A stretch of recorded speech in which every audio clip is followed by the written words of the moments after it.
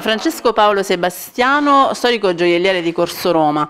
Come si fa a mantenere una bottega storica in una città che perde abitanti e spesso anche attrattiva? Beh, per quanto mi riguarda noi siamo alla quarta generazione, quindi abbiamo clienti storici che vengono tramandati da padre in figlio, i nipoti. Poi grazie alla nostra esperienza riusciamo a trovare aziende che hanno un buon rapporto, un ottimo rapporto qualità-prezzo, quindi riusciamo ad andare avanti.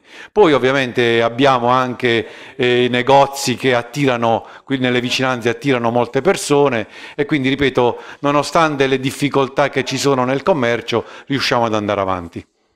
Eh, Corso Roma e tutte le strade limitrofe, anche le traverse verso la parrocchia Immacolata, trattengono ancora tantissime botteghe eh, decennali, storiche della città.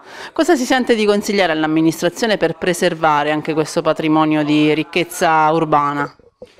Beh, la prima cosa che consiglierei di fare ovviamente è calcolare che Corso Roma è uno, se non l'unico, forse viale più bello di Foggia, è il più grande, quindi ampliarlo con uh, le piante che purtroppo sono andate via, quindi bisogna rimpiazzarle, ampliarlo con l'illuminazione, ma vedo che la stanno facendo perché sono qui da stamattina le persone a cambiare le lampade.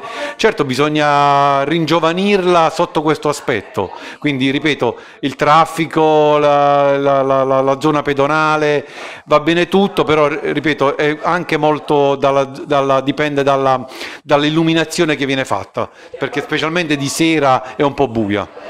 Molti cittadini lamentano anche purtroppo una scarsa pulizia diciamo, nelle strade del mercato, ma anche in quelle di fronte. È così oppure no?